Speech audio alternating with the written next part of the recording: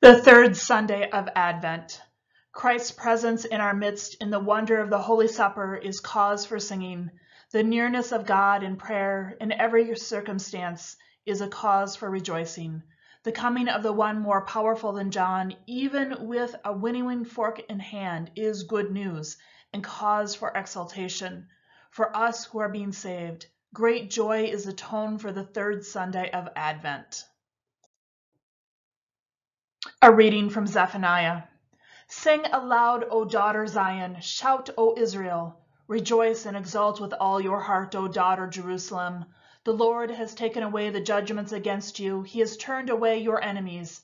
The King of Israel, the Lord, is in your midst. You shall fear disaster no more. On that day it shall be said to Jerusalem, Do not fear, O Zion. Do not let your hands grow weak.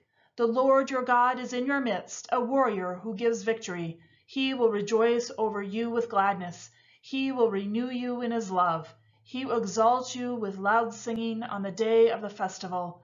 I will remove disaster from you so that you will not bear reproach for it.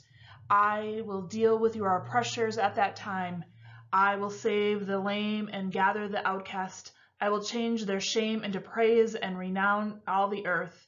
At that time I will bring you home. At that time I will gather you. For I will make you renowned and praised among all the peoples of the earth, when I restore your fortunes before your eyes, says the Lord.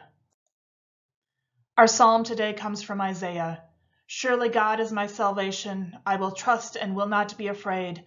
For the Lord God is my strength and my might and has become my salvation. With joy you will draw water from the wells of salvation.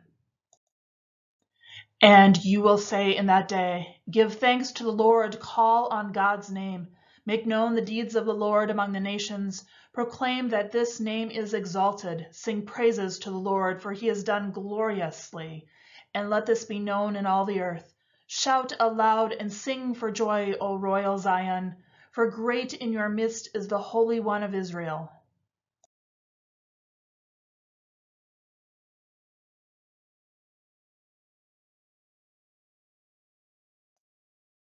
A reading from Philippians.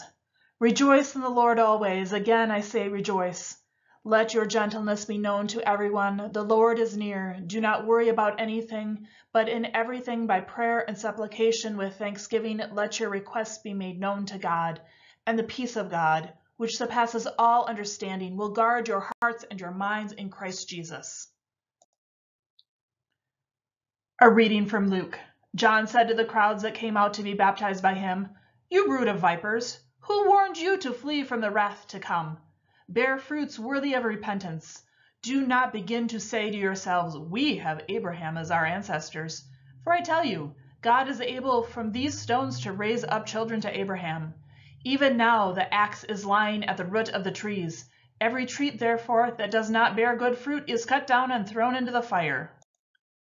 And the crowds asked him, what then should we do?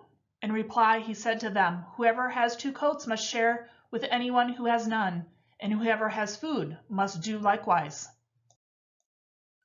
Even the tax collectors came to be baptized, and they asked him, Teacher, what should we do? He said to them, Collect no more than the amount prescribed for you. And soldiers asked him, and what should we do?